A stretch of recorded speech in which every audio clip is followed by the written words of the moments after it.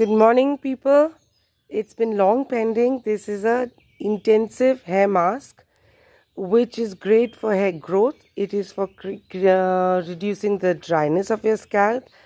It is to make your cuticles look more polished and smooth. It is to give nourishment, hydrate, and generally give you glowy, soft, beautiful hair. So we're going to start with the Biotique Musk Root Pack. So I've taken around a couple of tablespoons. This totally depends on your hair length. For medium hair length, which is mid of your back, a couple of tablespoons is good. This is one of my favorite silver bowls. It's something that I remember from childhood.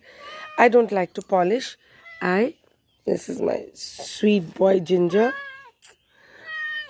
who wants his morning cuddle. Yes, baby.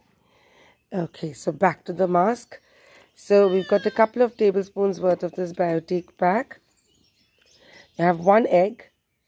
I have around two tablespoons of organic coconut oil. I use pure and sure.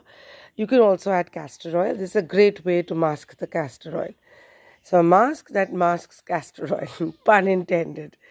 Alright, and this is yogurt. I've taken two tablespoons. These are two tablespoons of this wonderful powder I have spoken about this in my earlier videos. It is Reetha Amla Shikakai, uh, and Hibiscus. These are from Omrose, Khadi Omrose. You find it on Amazon and I will mention the names in the description. So it's around 2 tablespoons. So I mix them all and leave it in my washroom in a, in a jar and I also mix it with my shampoos once a week and shampoo my hair, sit for a minute and wash it off. Now I'm going to mix all of this till it becomes a smooth homogeneous mix. So here it's all gone in and I'm going to give it a good mix so it becomes a smooth mix. It will look a lot like your henna mix and it will be very easy to apply. Concentrate on the scalp and it's going to work. This is a great way to incorporate egg. Now, egg usually smells, but when you mix it with this musk root and you mix it with the dahi, it doesn't. Also, once you wash your hair, if your bathroom smells eggy, just sprinkle some vinegar or spritz some vinegar or a bit of lemon, light a candle, it'll soak up the odors. And if your hair is smelly, after you've washed it, sit in the sun for a while. Let it sun dry. When your hair sun dries, it just smells gorgeous. So I'm going to give it a mix. So there you have it. It's a nice glossy mix and it's really thick so it's not going to drip. You can use a shower cap if it makes you feel icky. You need to keep this on at least for an hour for it to have any benefit and then you wash it off like you would.